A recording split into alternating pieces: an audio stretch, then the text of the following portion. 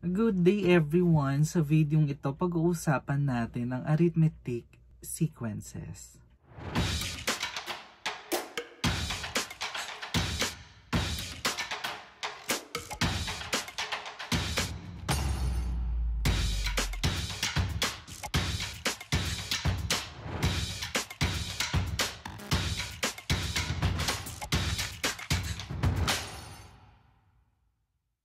Yes, dun sa previous video natin, pinag-usapan natin kung ano ang sequence in general.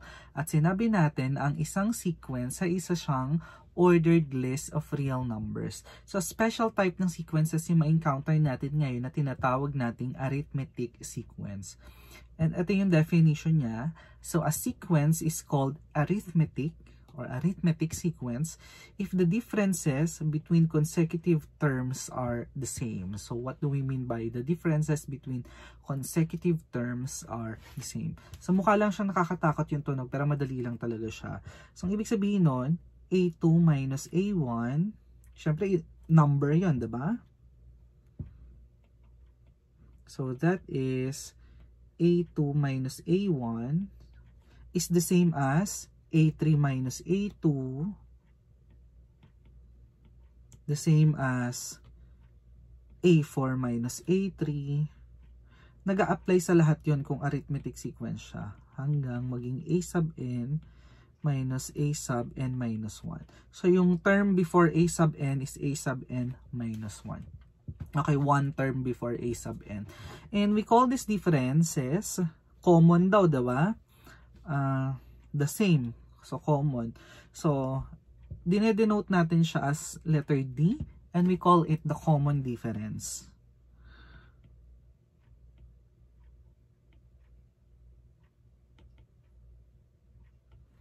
So, let's give some examples of arithmetic sequences.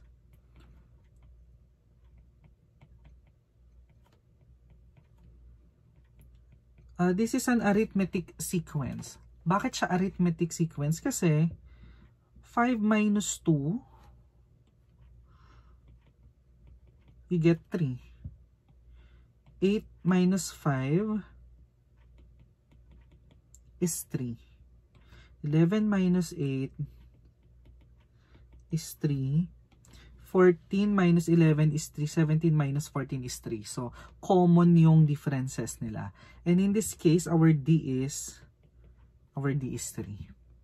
Or kung mas madali sa inyong i-visualize nang hindi nagba-minus, pwede mong makuha yung next term by adding the same number D, the common difference. Okay? So, para makuha yung next, mag-add ka lang ng D. Mag-add ka lang ng D.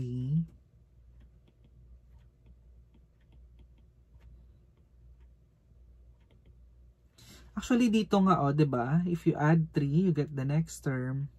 Add 3 the next term. Add 3, get the next term. Okay? So, ito na yung tinatawag nating recursive formula. Bakit siya tinawag na recursive formula? So, note, uh, sulat natin yan dito. Scratch muna ta. A sub n minus A sub n minus 1 equal to D or a sub n is equal to a sub n minus 1 plus d. So, sinasabi niya na yung nth term mo is equal to the previous term plus your constant d, your common difference d. So, a sub n is equal to the previous term plus plus d. So, isa yan sa mga formula na dapat tatandaan natin. Importanteng importante yan. So, yan yung naka-recursive form. So, how do we get n? Tapos, ah, how do we get a sub n? Using the previous terms. So, ang tanong ngayon, how do we get a sub n in terms of n? And other constants. Okay, nang hindi siya nakadepende doon sa previous term natin. Okay, so balik tayo dito sa ating sa ating thing. Okay? So, kukopyahin ko lang siya kasi kailangan ulit natin siya. Okay, suppose we have this arithmetic sequence. So, sabi natin that A1 or A2 is equal to the previous term plus yung common difference. Tama? And you can get A sub 2 equal siya sa uh, A sub 3 equals sa previous term plus plus D. But we know that A2 is equal to this. Ah, gusto ko makita ninyo yung pattern dito para hindi nang tayo splok ng splok ng formula. So, A sub 1 plus 2D. So, that is A sub 3, A sub 1 plus 2D. A sub 2 is A1 plus D. What is A sub 4? A sub 4 is A sub 3 plus D. A previous term plus D. Sabi dito, A sub 3, uh, A sub 4 is previous term plus d. Ah, nakuha yan using our recursive formula a sub n, a sub n minus 1 plus d. At anong sabi natin? a sub 3 is equal to this. So, get A1 plus 3D. Yan yung, may nakikita ba kayong pattern? Titignan nyo yung mga subscripts. Okay, so yung A, kapag 2 ito, 1 ito. Pag 3 ito, 2 yon. Pag 4 yon, 3 yon. Tapos lahat sila may mga a sub 1. So, parang mako-compute mo si a sub, a, a sub n using the formula na a sub 1 kasi lahat sila may a sub 1 plus something times d. At ano yung something na yon? Mas mababa ng isa, ba? If 3 ito, kung 4 ito, 3 ito. Kung 3 ito, 2 yun. So, it must be n minus 1. At ito na yung ginagamit nating formula to compute the nth term of an arithmetic sequence. So, magbigay tayo ng, ng example. So, question now is, find uh, the 20th term.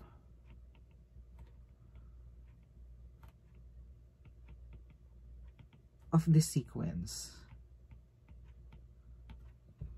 Okay, so dalawa lang naman yung formula natin. Our formula is a sub n equal to a sub n minus 1 plus d or a sub n is equal to a sub 1 plus n minus 1 times d. Ang pinaka-importanting bagay sa arithmetic sequence ay yung common difference d ha. Okay? So, aalamin nyo muna yung common difference D. Kasi gagamitin natin tong formula na to. So, if you want the 20th term, basically, ang pinapahanap lang sa'yo ay a sub 20. And a sub 20 is equal to a sub 1 plus 20 minus 1 times d. Okay, so if you know a sub 1, and D, tapos ang usapan, mahanap mo yung 20th term niya. So, what is our A sub 1? A sub 1 is negative 1. What is our D? So, pag arithmetic sequence, kahit kuha ka lang na any term, tas minus yung previous nun, that is D. So, let's say kuha tayo na any term, let's say 8. What is the previous term? 5. So, D is 3.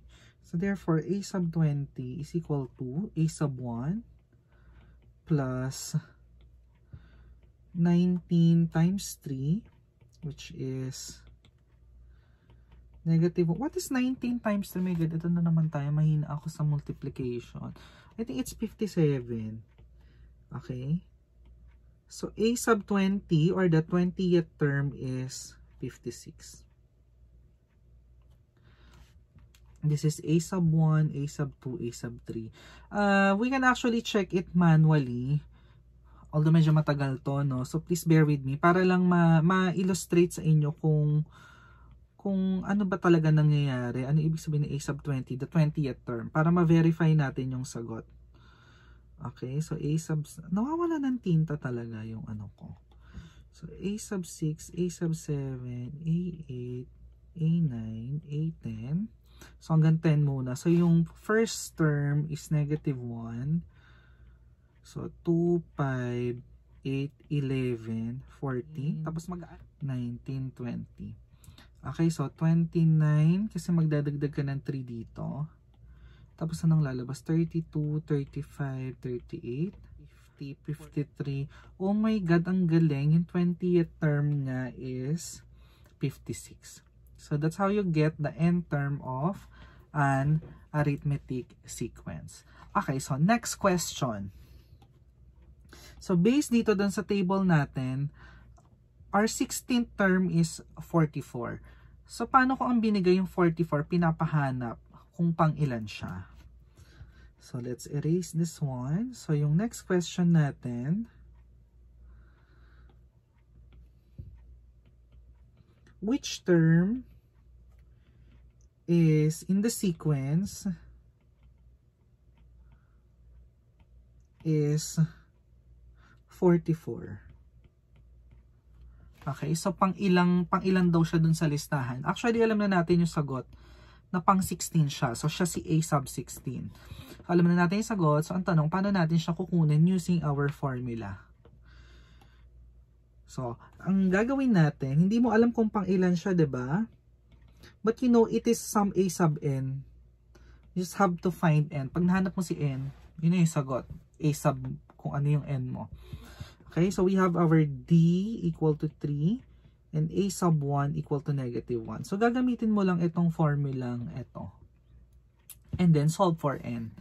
So, A sub n, sulat natin, is equal to a1 plus n minus 1 times d. an is 44. a1 is negative 1 plus n minus 1 times 3. So 44 is equal to negative 1 plus 3n minus 3. So 44 is uh, negative 4 plus 3n. Pinag-combine lang natin ito. Tapos mangyayari, lipat natin yan sa kabila. So 48 is equal to 3n. Then divide both sides by 3. So n is equal to 48 over 3 which is which is 16. So therefore, a sub 16 is 44. So yung 16th term is 44. So ang sagot dito ay a sub 16 or the 16th term.